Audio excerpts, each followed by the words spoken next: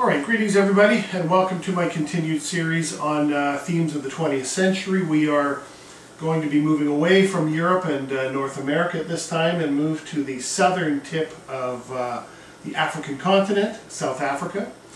Now, certainly many of you that are watching these, uh, maybe students in high school or early university, uh, most of you were probably born in sort of the early 21st century and would really have no memory of, of, of the apartheid system or even a memory of this man here, Nelson Mandela. But it's fair to say that in the 1980s, uh, during sort of the second half of the 1980s, uh, the issues in South Africa really kind of begin, began to crop up to the forefront of, of Western society. A lot of discussions about what's happening down there and a lot of hostility too um, when people began to understand exactly what apartheid meant. So what I want to do for this lecture is kind of walk you through the steps that lead up to it because you know one of the wonderful things with history uh, is that you know with every period that we study there's always a, there's always events that lead up to that. So there's, there's this sort of constant cycle of going back and back and back, you know. And I like to say with history, um, that the more you learn, the more the more you realize how little you know, and which can be very frustrating at times, but also kind of keeps you actively looking and studying and reading, and uh, uh, you know there, there's no end to history, and um, it's what makes it so compelling as well. But for our purposes today, we're going to be looking at specifically South Africa, and we're also going to be looking at um, the rise of uh, this man here, Mr. Nelson Mandela, who would, interestingly enough, become the president of South Africa. So, all right, so let's go back to early days of uh, colonial and imperial rule of South Africa. In 1652, a century and a half after the discovery of the Cape Sea route, the Dutch East India Company founded a refreshment station at what would become Cape Town. Okay, so uh, basically 1652 is pretty early in the colonial experience. I mean, certainly the English and the French have been fairly active, uh, particularly in the New World and what would later become Canada and the United States. Um, but, you know, originally uh, Holland or the Netherlands the Dutch, interesting we've got those three reference names we can use, um, we're really quite interested in Indonesia. And you know, if you're traveling from uh, the Netherlands all the way around Europe, past the Straits of Gibraltar, and all the way down Africa to the southern tip and then across Indonesia, that is a heck of a long trip.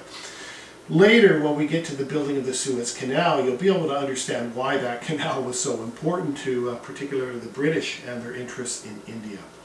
But basically what happens is you get this uh, company, the Dutch East India Company, that begins to develop a presence in South Africa. Because if you are going to um, have colonies uh, in Indonesia, you're going to need to have some pretty clear lines of communication. You, you need refreshment stations, you need a place to stop, you need a place to rest, to get clean water, to get fresh food, and so on and so forth. So when you are a colonial power, you do need a network of lines of communication.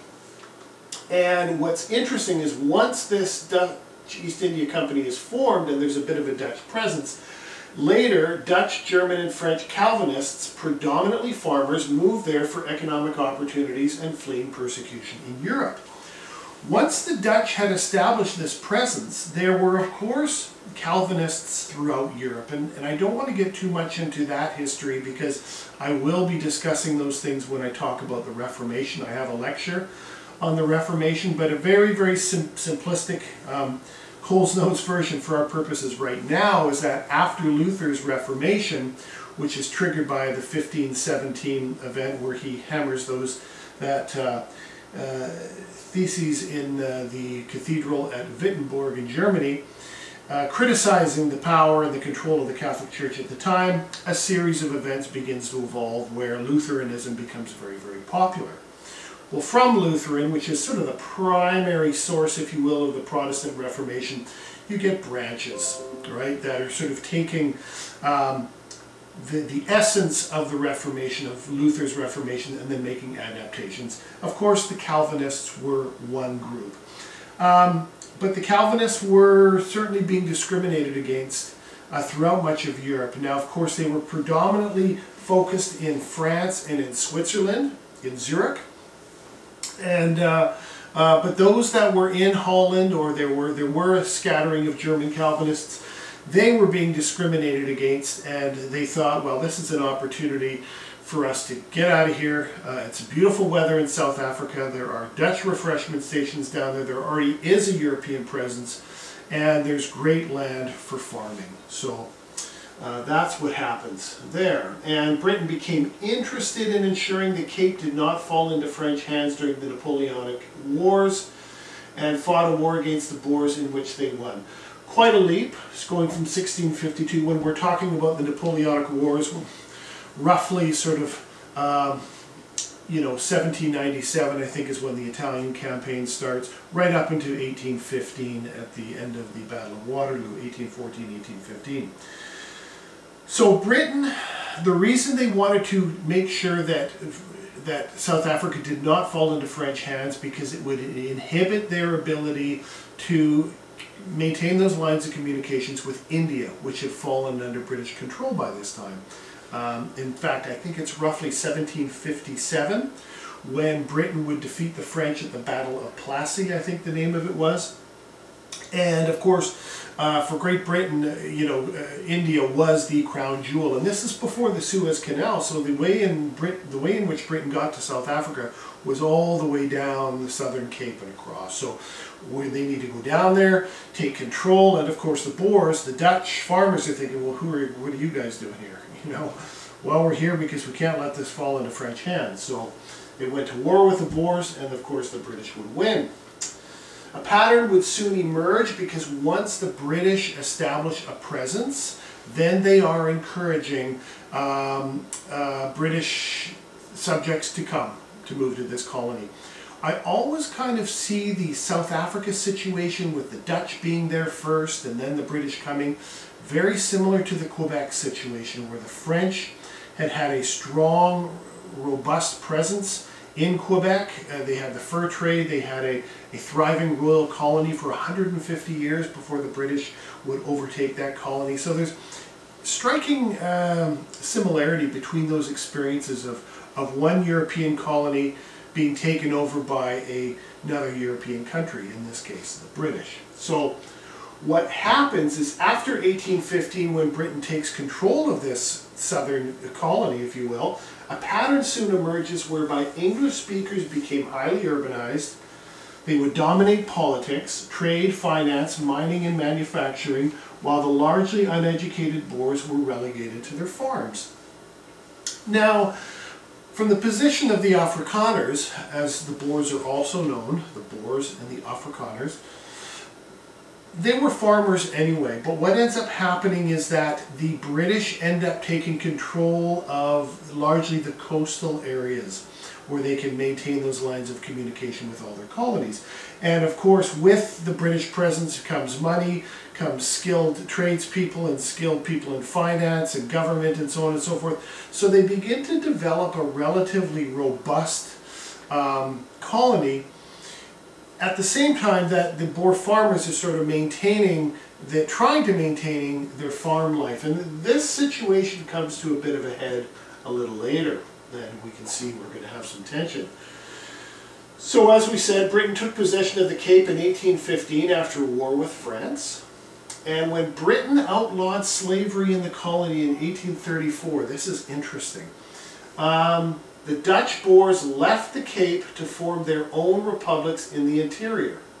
Natal, Orange Free State, and the Transvaal. Okay, so it was a combination of the Boers protesting the idea that they would be expected to abolish slavery too. Uh, there was a pretty strong relationship between the economies of the Boers and the local indigenous population. Um, where largely the indigenous population, if you will, was in servitude of the Dutch Boers and later the British as well, even though they would outlaw slavery. So what happens after the 1834 situation is that the Dutch Boers say, okay, you know what, enough already. We are going to move north and create our own independent republics separate from you guys. You guys can stay down south, stay on the coastal areas, and we're going to go up north and, and, and keep our own rules. We don't want to have our uh, republics dictated by the British. So that's what happens. And basically, if you look on this map, uh, it's kind of fuzzy here, but it's sort of up in this area is where there's the Transvaal, the Orange Free State. They're all up in the interior. By the 1890s, the Boers were located largely in areas where they resisted integration with other Europeans. So what happens, a pattern develops where the Dutch, the Boers, um, are quite bitter and resentful of a continued flood of colonists coming to, to the Republic. And as, as some began to move up into their Dutch Boer republics, they became very, very um, concerned about that with good reason. They called them Uitlanders. But then something happens. and oh my gosh, if we look in the history, how much history of warfare and violence has revolved around um, the discovery of diamonds or gold or just chaos. You look at the gold rush, the Cariboo Gold Rush in British Columbia. You look at the, the gold rushes in California of 1849 and so on and so forth. I mean, the discovery of diamonds brought a flood of foreigners to the area, you know, the Yukon Gold Rush as well. Uh, tensions grew in the Transvaal when British immigrants were outnumbering the Boers. Okay, now the Boers are feeling vulnerable, just like the French Canadians, as the British began to import or bring in more British colonists. When Britain takes over control of Quebec after 1759 and the Plains of Abraham, do you think they're encouraging more French to come live in Quebec? No. They want to shut the door on the French and they want to bring in more British. So that slowly over time, the French become acculturated with the French, you know, with the English, and uh, slowly over time, uh, the French will all be Anglicans and speaking English. Um, you know, so the Boers are feeling definitely vulnerable, but what's unfortunate now is you now have gold and diamonds uh, in these Dutch republics, which eventually uh, is really the primary cause of the Boer War. The Boer War was a lengthy war involving large numbers of troops from many British possessions, uh, which ended with the conversion of the Boer republics into British colonies, right? So the British fought directly against the Transvaal and the Orange Free State, and the bloodshed that was seen during the war was alarming.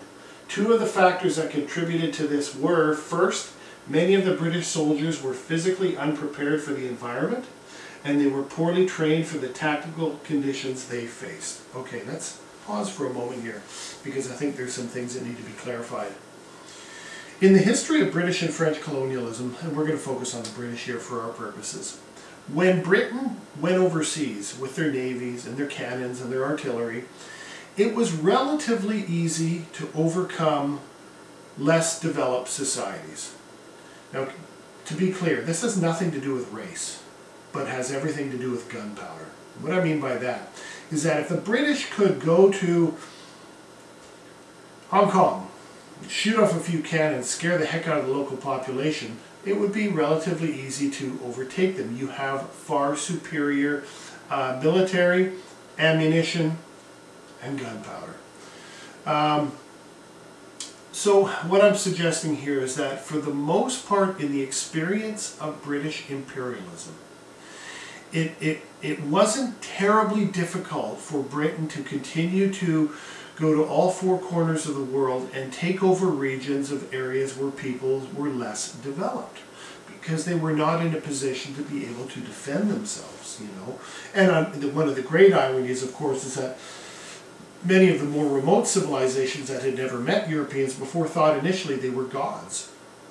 So the Europeans were able to walk all over these people, because, and then of course when they realized they weren't gods, it was too late. Just look at the the experience uh, in, uh, in Mexico and Latin America at the hands of the conquistadors, of the Spanish. So that story is pretty uh, pretty uh, horrific and what happened there. But uh, so what I'm trying to lead to here is that Britain, over the previous two three hundred years of colonialism, had had a pretty easy go of going anywhere they wanted and taking over parts of the world with relative ease.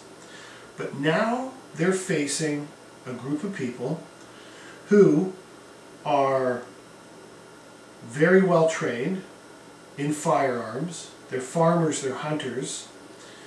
They're Europeans, and that's not why they're they're great, but it's it's it's they had access to the kinds of technology that the British were using themselves, is what I'm getting at here. And Great Britain was not used to fighting a protracted colonial war against an enemy that knew its territory so well that they, in fact, the Boers became masters of guerrilla warfare, and the British had no idea how to deal with that. They never faced an enemy like that. In addition to that, the British are having to remain in South Africa for quite some time. They're exposed to disease. They're getting very, very sick. Uh, many are dying, and um, the Boers are running circles around them. And now, not in full frontal assaults. This was sort of guerrilla tactics. One of the things I think um, happened is um, also germ warfare. You know, I think the Boers were known to dump dead carcasses of horses and animals into the rivers that were flowing down towards British encampments so that when the British would drink the water, um, they would become extremely ill and in cases, many cases die. So, it, you know, the British found themselves in this extremely hot climate and unable to drink the water from the river, knowing that it was being intentionally polluted in a type of germ warfare. So, so the Boers were tough as nails, and they were not going to give in, and I think Britain was unprepared. I've always kind of seen the British adventure in South Africa similar to the American intervention in Vietnam, this very, very strong, major world power that is simply unable to overtake a largely farmer-based community, rural community in these republics. What happens is the British, out of desperation, resort to a policy of scorched earth and civilian internment, adopted by the British in response to the Boer guerrilla campaign, ravaged the civilian populations in the Transvaal and Orange Free State. This is where things get a little bit ugly. And, you know, it's not a period of history that Great Britain is proud of. And nor am I suggesting, um, you know, that this was the right or wrong thing to do. But this was a major colonial power that found itself in a desperate situation. So what they do is they basically intern the women and children, the wives and children of the Boer soldiers they're fighting by going into villages and basically rounding up families and putting them in these internment camps. Now these internment camps were not death camps, it was nothing like that, but they end up holding so many Boer civilians that they don't have the, the ability to maintain proper supply of food and medicine to these people that they have got essentially under a form of house arrest and you get a, a situation where civilians begin to die in these British camps. Britain pursued the policy of rounding up and isolating the Boer civilian population into concentration camps, and I use that term loosely, that's what they were called, but to be very clear, these were not World War II type of uh, concentration camps. The wives of, uh, and children of the Boer guerrillas were sent to these camps with poor hygiene and little food, although this was remedied to some extent as time went on. The death and suffering of the civilians, according to many scholars, is what broke the guerrillas' will. So this war could have continued, this guerrilla warfare tactic, you know, and the Boers were so devastated by having their families in prison that eventually they gave up. But on the ground, from a tactical military perspective, the Boers never really lost because this was an unusual war. You know, this was Boers in the hills late in the evening going down into encampments, blowing up supplies, killing a few people and retreating back to the hills. You know, we've seen guerrilla warfare being used throughout history. The Viet Cong, of course, in South Vietnam, uh, the Spanish during the Napoleon invasion there, the Spaniards resorted to guerrilla warfare. And uh, so, I mean, it's basically all you've got when you can't face an enemy with a full frontal assault. So. This war led to a change from splendid isolation policy to a policy that involved looking for allies and improving world relations. Basically what happens is that when word begins to trickle out of what the British are doing in South Africa, it becomes kind of a an unpopular war. I mean, the propaganda was we're going there to defend British interests, but British subjects wouldn't have really understood what was happening, how gold and diamonds was impacting this, because that's what the British were really after. Oh my gosh, there's all this gold and diamonds in the Boer republics. We need to get that, so we need to find a reason to go to war. Um, you know, some 1,500 Canadian volunteers went because they were doing the duty for the empire. So, you, you know, most people that became volunteers that fought in the Boer War really didn't understand what was going on, and when they did, and they saw conditions like these camps, I'm sure many of them were extremely upset. The Army Medical Corps, this is the British Army Medical Corps, discovered that 40% of men called for duty were physically unfit to fight. This was the first time in which the government was forced to take notice of how unfit the British Army was. And once again, it was because in the past they'd had very little difficulty taking over regions, so they were not used to this sort of protracted kind of a fight. So, all right. Well, the Boers were given three million pounds for reconstruction and were promised eventual limited self-government, which was granted only six years after the end of the Boer War. The treaty ended the existence of the South African Republic and the Orange Free State as independent Boer republics and placed them within the British Empire, right? Much like Quebec, right? Uh, the Union of South Africa was established as a member of the Commonwealth in 1910. So in many ways, I think the British peace terms, if you will, with the Boers were relatively generous for a nation that just defeated another nation. But I think it was a recognition that um, we don't want to give cause for the Boers to resurrect their anger and distaste because we don't want to go to war with them. A similar effect in uh, with the British in Quebec when they enacted uh, the Quebec Act, which was very favorable, allowing the French to keep their Catholicism, their language, and so on and so forth. And understanding that you can you can be the ruler of this area, but there's ways that you can prevent them from rising up against you. Guess is the best way to put it. So. In all, the war had cost around 75,000 lives, 22,000 British soldiers were killed, but only just under 8,000 of the 22 were battle casualties. The rest were through disease. Between 6 and 7,000 Boer fighters, and mainly the, in concentration camps, between 20 and 28,000 Boer civilians, mainly women and children.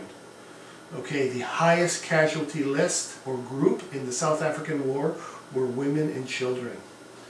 And perhaps 20,000 black Africans, indigenous peoples, both on the battlefield and in the concentration camps. So, so that's where we're at. The Transvaal and the Orange Free State are now British colonies, and we move forward. Now,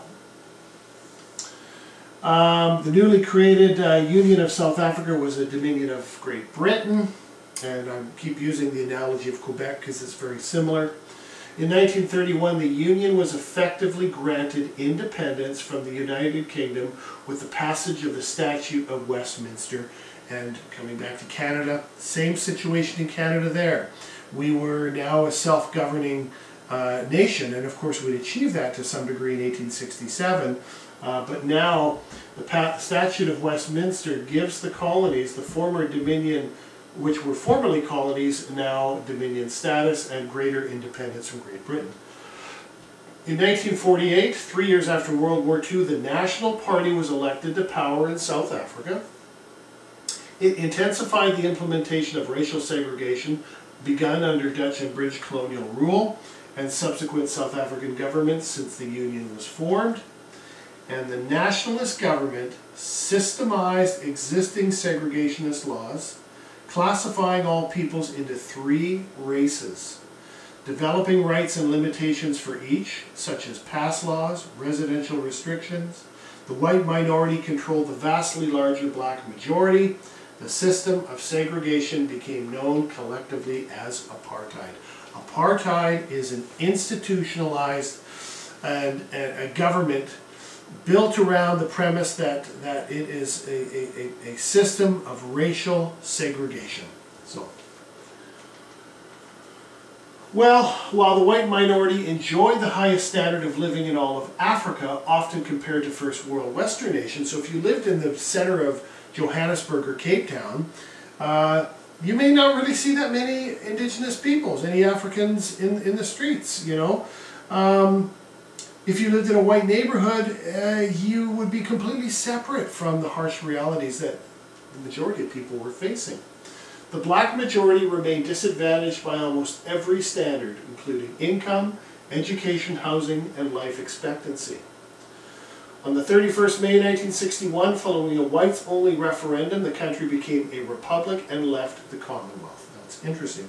Why would South Africa become completely free and independent from any connection with Great Britain through the Commonwealth? A lot of it had to do with the fact that by 1961, the apartheid government was beginning to fall under tremendous scrutiny from the United Nations and other nations of the world who were saying, wait a second here, how on earth can we allow a nation exist that separates its people so blatantly, you know, so brazenly? As apartheid did. Apartheid became increasingly controversial, leading to widespread international sanctions and growing unrest and oppression within South Africa. A long period of harsh repression by, suppression by the government and at times violent resistance in strikes, marches, protests, and sabotage by bombing and other means by various anti-apartheid movements, most notably the most vocal and powerful group that developed was the African National Congress, and from this point forward I'll refer to them as the ANC, the African National Congress. So it isn't surprising that when you create a, when, when, when the controlling power is a, a, a racial minority that basically creates uh, laws that puts them at a tremendous advantage over the vast majority of the indigenous population, um, you're going to have a problem. And all you have to do is look at um, events that led up to the American Civil Rights Movement because it was very similar what was happening down there, although racism wasn't uh, uh, cast in law in the same way as it was in apartheid. It happened in the American South. It happened against the Constitution of the United States, but there, you had the, the, the Jim Crow laws in the United States, but here in South Africa, this was from the top. The state had organized their society and written up their laws according to complete racial separation. So. All right, well, Nelson Mandela was such a central figure when I was growing up. Um, and, you know, particularly in the, in the middle 1980s. Um, when things began to really kind of fire up. So let's talk a little bit about Mandela first. And I want to share some stories and experiences that I had as a young man in relation to South Africa. So, whoops. So he was born a member of the Tembu people in 1918. Um, his name was Ro Rolihlahla, is the pronunciation. Roli Rolihlahla, which isn't that difficult to pronounce. Roli Rolihlahla Mandela became the first member of his family to attend a school where his teacher, Miss Dingane, gave him the name Nelson. Now what's funny about this is the Tembu people were largely rural agrarian people that lived sort of more inland. You know, he lived, Nelson Mandela grew up in a very idyllic, close-knit, loving community that was completely separated from the bigotry in the urban centers in the south and on the coastal areas.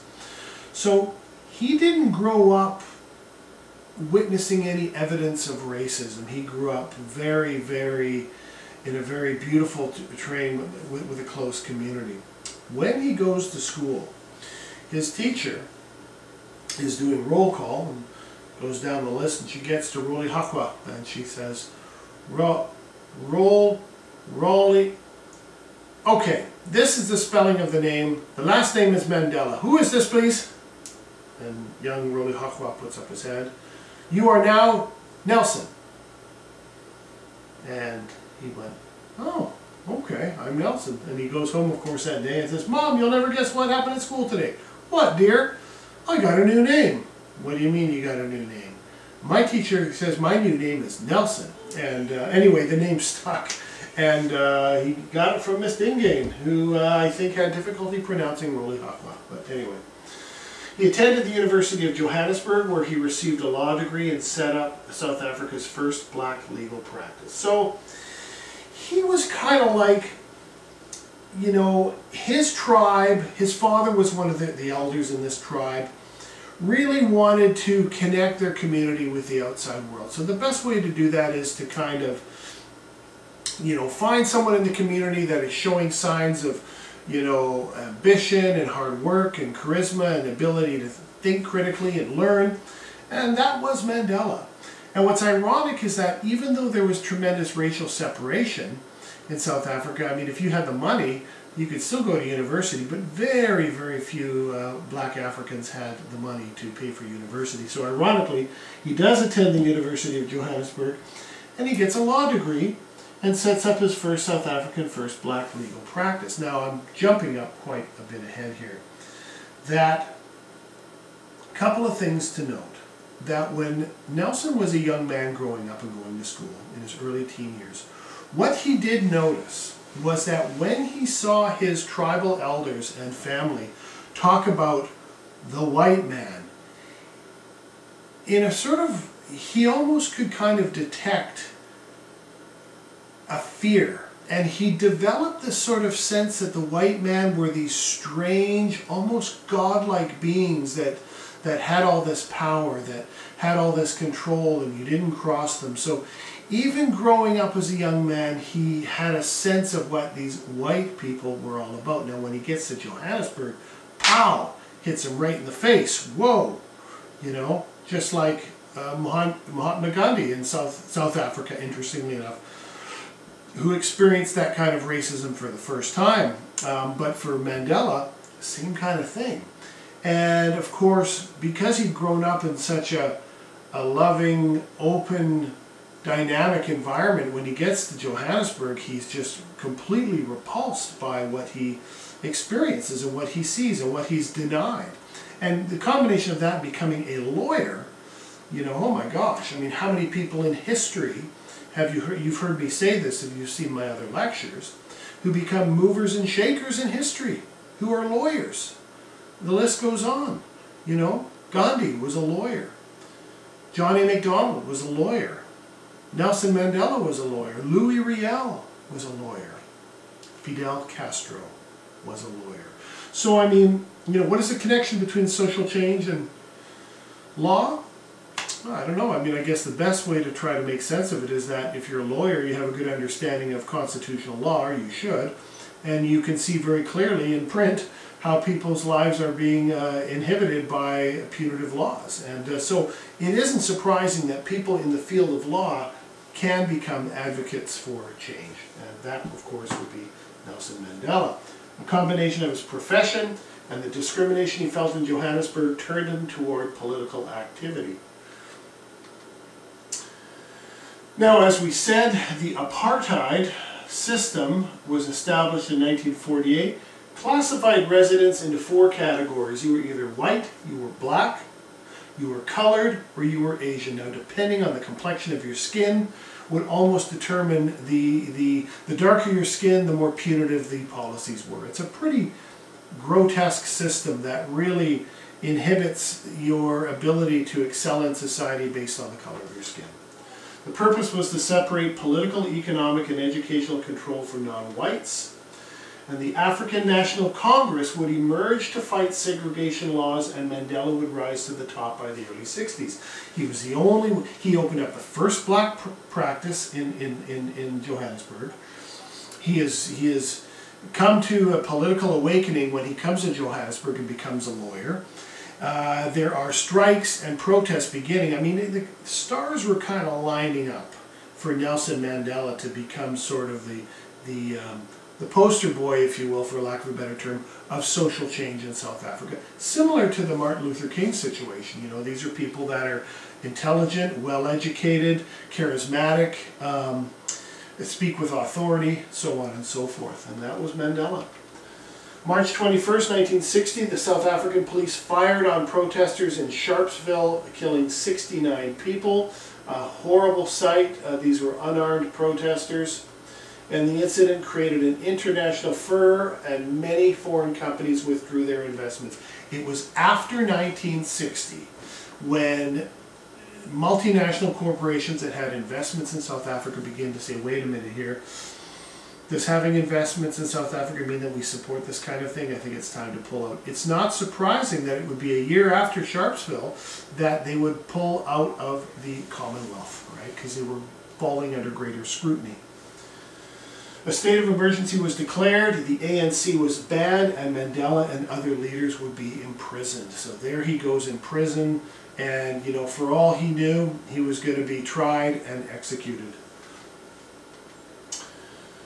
So after Sharpeville and certainly beyond, and particularly when we get to the, the, the, protests of the 1960s, while South Africa may not have been so much on the radar in the States because Vietnam was taking up so much of the attention, um, major corporations are beginning to show their commitment to, to changing things in South Africa. Sanctions basically are actions directed at South Africa to force it to meet legal and moral obligations. General Motors and Kodak withdrew their operations. Musicians refused to play there and sports teams refused to do the same. Now, here's the interesting thing. South Africa could claim that nobody was allowed to interfere with how they ran their government because it was an internal matter. The United Nations is not supposed to intervene in countries uh, that are making decisions for the people within the borders of their countries, right? They're free to do as they see fit. Um, so it was a, probably a very difficult situation for the UN to deal with South Africa because, you know, uh, you couldn't really overtly criticize them, although you certainly you could criticize them, but there was nothing you could really do about it. What's interesting is that um, despite the, the um, sanctions, some sports teams and some musicians continued to perform and play sports in South Africa. In South Africa, there was a, quite a, a, a, resort area called Sun City. And uh, Sun City was a famous spot for wealthy white South Africans to go to. And, uh, you know, performers would go from all over the world to play at Sun City. And unfortunately, some artists that I respect played quite a bit in Sun City. Eric Clapton played at Sun City. Canada's Rush played at Sun City. Um, what ends up happening is in the middle 1980s, a group of artists in America, I think um, people like Bruce Springsteen and Little Steven, who is Bruce Springsteen's guitar player, uh, Bono from U2, Sting, formerly of the Police, and others came together and wrote a song called I'm Not Going to Play Sun City. I think it was about 85 or 86 when this song came out. That was my awakening that what is the deal with South Africa that these nations have to come together and say, we refuse to play Sun City because they were protesting that their friends and colleagues in the music business, some of whom were having the audacity of performing there. And it was at this time, too, in 1986, where uh, Paul Simon records his masterpiece, Graceland, one of the great albums of the 1980s. And he got scrutinized because he went to South Africa to hire, um, he wanted to make an album with African rhythms and, and, and, and music, and he was very inspired by African music. So he went to South Africa against the international sanctions, hired these musicians, recorded this album, and you know, his defense was that, well, look, I just went there because I love the music and I'm a musician. And you know, probably not the best time for her to do this, for him to do this, but at the end of the day, you know, we have that album, Graceland, which still is one of the great albums of that period. Um, just ever so quickly, my experience uh, also was that when I heard the song I'm Not Going to Play Sun City, I was in college at the time. I began to go to the library and read up on Nelson Mandela. There was a song that I'd heard on the radio called Free Nelson Mandela. which had a really great beat, a great bass line, and I thought, boy, what is this? What is this? This is a great song. Who is Nelson Mandela anyway? So it's interesting how music is what brought me to my appreciation and understanding of what was happening in South Africa. There was one time in particular where I was driving with a girlfriend in, in, in my town and uh, we were running out of gas and um, um, we needed to pull in, we were on E, needed to pull into a gas station. There was a Shell gas station. And um, I said, we got it, we're going to run out. She says, don't go to Shell. I said, why not? She says, because they have investments in South Africa. And I thought, well, what are you talking about? I'll go and I'll get $5 of gas. We'll go somewhere else and fill up. She said, okay, fine. So we went in and pulled up to the gas station, rolled down my window, and as the man came around to ask if, if he wants me to fill it up, my girlfriend at the time says, why do you guys have interest in South Africa? I thought, oh my gosh, please don't make a scene. This is just a, an employee at the gas station.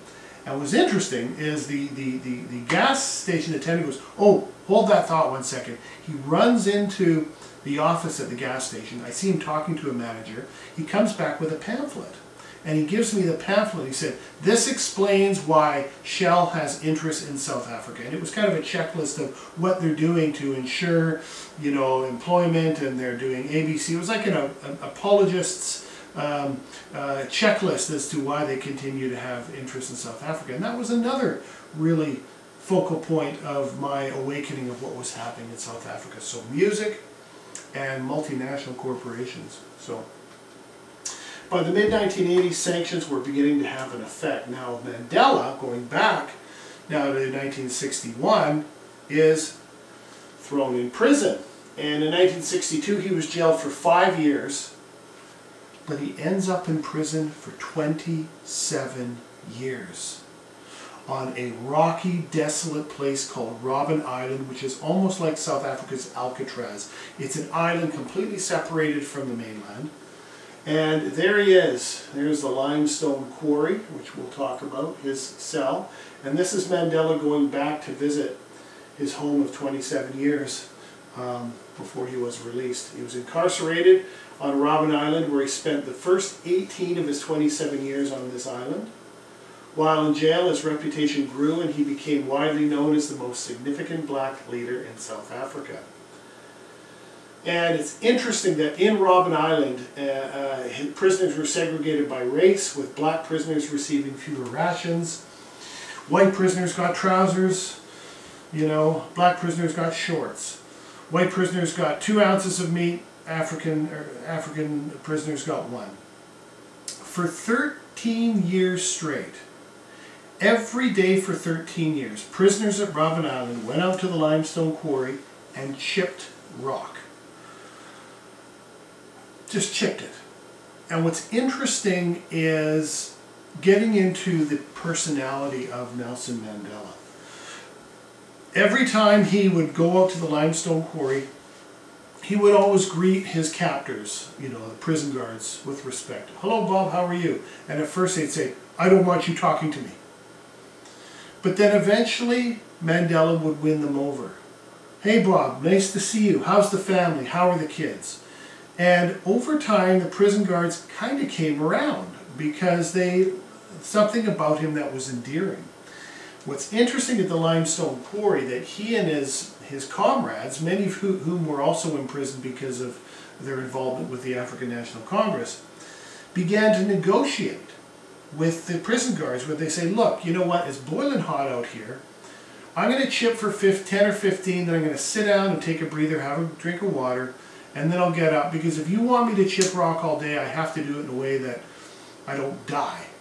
And so Mandela was able to negotiate those kind of things. So for 13 years while they chipped rock they developed this rapport with their prison guards. And you know the hatred and bigotry that some of those prison guards may have felt because that is what they had learned had been eliminated after years and years and years of interacting with Nelson Mandela. And that to me is one of the, the remarkable stories of, of why Mandela is such a remarkable human being. On the island, he and others performed hard labor in the lime quarry. There it is up there. All right, well, there's de Klerk here. Became president of South Africa in 1989 and within a year repealed laws that enforced segregation, lifted the ban on the ANC, and freed Mandela in 1990. Now, I need to slow down here for a second because what happens is the longer that Mandela is in prison, he goes into prison in 62, he's released in 89, 27 years. People don't even know what he looks like anymore the pictures that you have of Mandela, you know, ANC flags and portraits are Mandela circa 1962 and before. And what's interesting is that in the middle 80s, the South African government knew that they were going to eventually release Mandela. So what they do is he when he, he he's brought into the city, he's given sort of he's living in house arrest in a quite a nice home, and he's driven around Johannesburg and Cape Town and other places just to have a look at what South Africa looks like because he hasn't seen it in 27 years. And he was actually able to walk the streets of Johannesburg and nobody recognized him. And in fact, he could go to a shop, a tourist shop, let's say, where there'd be, or, or like a flag shop, and there would be ANC flags and pictures of Nelson Mandela on a coffee cup, you know. Uh, there was, you know, incidents like him going into a shop and and going to pick up a coffee cup and a lady going, oh, were you going to get that? And he says, no, I was just looking. Would you like to buy it? Yes, it's the last one. I really would like this Mandela cup. And he gives her the cup and off she goes and he thinks, my gosh, she doesn't even know I'm the guy in the coffee cup. Um, but that's the kind of thing. So he was kind of being slowly ready because what's happening to the South African government by the late 80s is that the economic pressure from sanctions, the disdain with which they're being held at by the rest of the world, the lack of business interests that are coming, everyone's pulling out, nobody's coming in, they're, they're becoming kind of a pariah state. Um, uh, so de Klerk is the one who begins this process. He introduces new laws to end the partitioning of South Africa into separate racial states. In 1993, with the pressures of violence and bloodshed, de Klerk agreed to national democratic elections for all citizens. Now, here's the thing, from apartheid's, from de Klerk and apartheid's perspective, why then? Why were they, after so many years of, of, of this institutionalized racism, were they willing to pull back? Pressure was mounting. And here's the reality. You've got generations of South Africans, Boer, Boers, white South Africans, that want a place in South Africa after all this. So if you're the one, as the white apartheid government, that takes the lead on dismantling it, it may increase the possibility that the white population can maintain a presence after the end. Because it's not like they're going to go home. These are generations of people that have lived in South Africa since the 1600s. So that is their home. And, and you know, it's not like they're going to go back to Holland or, or France or wherever. So, um, so he very cleverly takes the initiative of allowing things to kind of strip down. And, and in terms of the day trips of Mandela, that's where it began. May 6, 1994, the ANC with Mandela as leader became the new government with 63% of the national vote. That's huge because now, of course, Africans could actually vote in this election. And in the spirit of cooperation, Nelson Mandela chooses de Klerk as his vice president. Now, why on earth would Mandela choose de Klerk as his vice president? He did it in the spirit of reconciliation. That, you know, Mandela was so popular, people adored him. If he said everybody torch the place, they would have done it. But he didn't want that. He wanted to forgive and forget. And here's a man after 27 years in prison, falsely in prison for 27 years, who comes out, appoints the former president his vice president, and focuses on rebuilding and reconciliation, um, which is, I think, what makes Nelson Mandela a remarkable person. Now, he would live to be, oh gosh, he passed away just a couple years ago. So, you know, I think he was close to 100, uh, maybe mid-late 90s. I'd have to look exactly when he passed away. But uh, he would be president. Now, South Africa today still struggles. Years and years and years of uh, institutionalized racism and, and, and, and so many people at, at, at, at uh, tremendous disadvantages. It's going to take several generations for South Africa to sort of overcome that. So, that being said, that'll be where we will stop. And, um, you know, if you're interested in this topic, I would recommend you watching my lecture on India and uh, the story of uh, Mahatma Gandhi, or Mohandas, as he was known by name. Mahatma, I believe, was the title. Um, uh, you're more than welcome to watch that, and uh, I want to thank you again for having a look, and we will see you uh, next time. Cheers. Thanks.